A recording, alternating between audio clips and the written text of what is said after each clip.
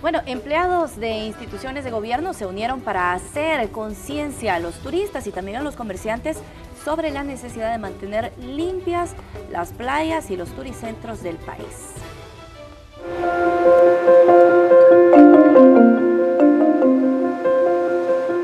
Se trata de una jornada de limpieza en varias playas del Departamento de la Libertad con el propósito de concientizar a la población de la necesidad de no botar basura en lugares no indicados.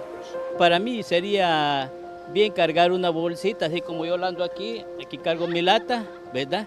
Y echarla a la bolsa para que no contaminar el medio ambiente. Es bueno porque todos los bañamos de las aguas puras, ¿verdad? Entonces es bueno que esté limpia las playas para que todo el turista que venga a visitar de todas maneras tiene que mantener todo lado limpio para que no viene toda la enfermedad. enfermedad Estas jornadas de limpieza se desarrollan en otras zonas del país, donde hay mayor concentración de turistas.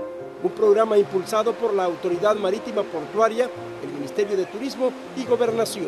Nuestras playas se merecen estar limpias y también la población y toda aquella persona turista que viene y nos visita también nos ve en esas condiciones.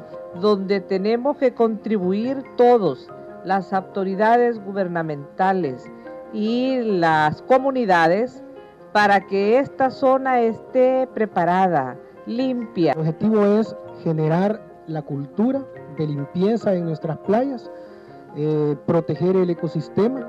Durante la jornada de limpieza participaron más de 80 personas de las tres instituciones promotoras de la campaña y se unieron otros miembros de la comunidad.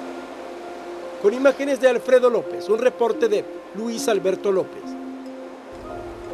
Bueno, ahí está un ejemplo que deberíamos replicar no solamente para las playas, sino que para todas las zonas turísticas de nuestro país, para la, exacto, plazas, parques y bueno, para nuestros mismos hogares, porque muchas veces, incluso en las residenciales donde vivimos, en las colonias, en las comunidades, no nos hacemos cargo de la limpieza. Comencemos por nuestros lugares de trabajo, Totalmente. por nuestras habitaciones, por nuestros baños, por nuestras casas, todo, ¿verdad?